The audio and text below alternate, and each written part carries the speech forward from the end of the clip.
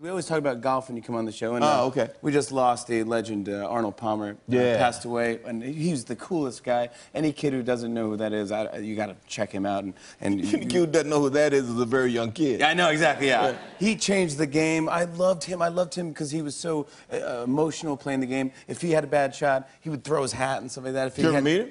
I never got a chance Oh, to you meet him. I actually played around with him at the Bob Hope when I first started playing golf. You know, you would go to the Bob Hope, and every day they put you with a different pro golfer Oh, yeah. for like four days. And one day they put me with Arnold Palmer. I said, "I'm with the King." Okay, cool.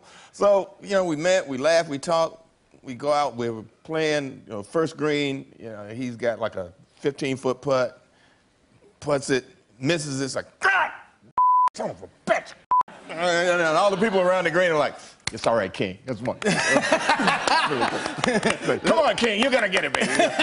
they didn't even care. You know, No. kind of like, oh, this is so awesome. I'm like, okay, golf, golf's my game. right? You know, if I can talk like that, I'm good. And you you're good at I'm- that. I'm, perfect now. you know? And I actually chipped in off the green at some hole, and he was like, Samuel, great. I was like, From Arnold Palmer. I get a great from the king. I mean, so come on. I'm also- good to go. Well, I know you're a big sports fan. I, I saw on Instagram you posted this uh, picture of a football game. It was the University of Louisville. yeah.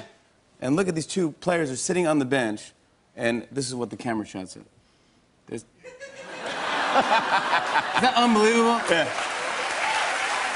What? The wide receiver and the quarterback. Yeah, he's a great quarterback. yeah. Now, this kid might win the Heisman Trophy. Yeah, that's what they're saying, right? But yeah, the wide receiver quarterback, and I have, you know, it's kind of, okay, serendipitous. Yeah, I thought that was pretty cool. I, I, I love that thing.